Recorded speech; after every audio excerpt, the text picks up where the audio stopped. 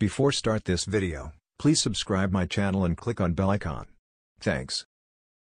Stephen Burns, the ex-CEO and founder of Lordstown Motors, has sold all of his remaining stock in the EV startup.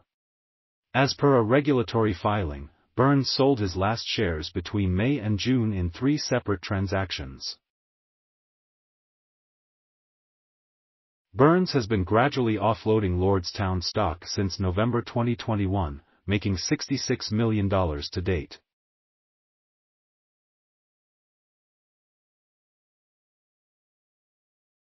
Burns resigned from his position as Lordstown CEO in June 2021 amidst rumors that he and several other executives were inflating order numbers for the firm's first vehicle, the Endurance pickup truck. Targeted primarily at fleet customers, the Endurance was revealed back in 2020 and reached production in September 2022. That said, financial constraints have heavily impacted production and just a handful of trucks have reached customers so far. The Endurance also heavily underperformed when its range was recently tested.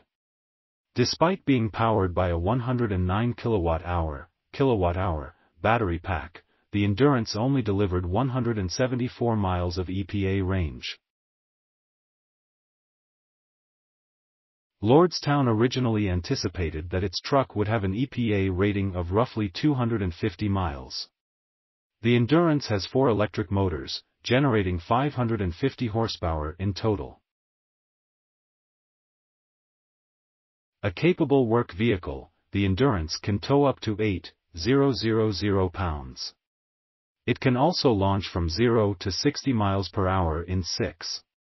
3 seconds, which is quick for a vehicle of its size but still significantly slower than other electric trucks like the Rivian R1T.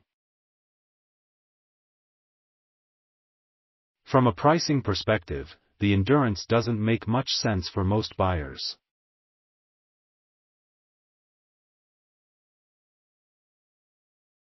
Its reported starting point of $65, 060 makes it far more expensive than the entry-level Ford F-150 Lightning, and almost on par with the faster and more luxurious Rivian R1T.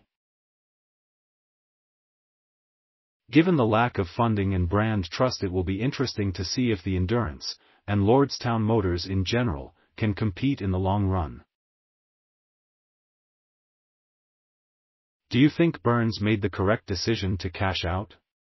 Let us know your thoughts in the comments section below.